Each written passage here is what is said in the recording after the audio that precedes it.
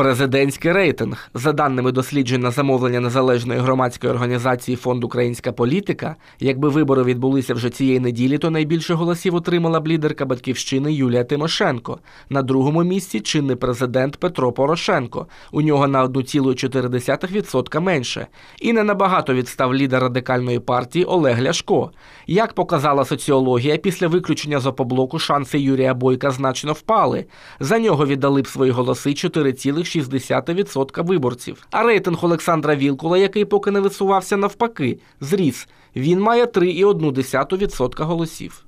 З'являється сьогодні надія на те, що в опозиційному таборі з'явиться новий політик. І, е, Якщо ми підставляємо значення Олександр Вілкул, який ще поки що не заявив про себе як про кандидата, він з ходу набирає фактично рейтинг, який є більше 3%, а якщо від тих, хто визначилися, це 4,5%.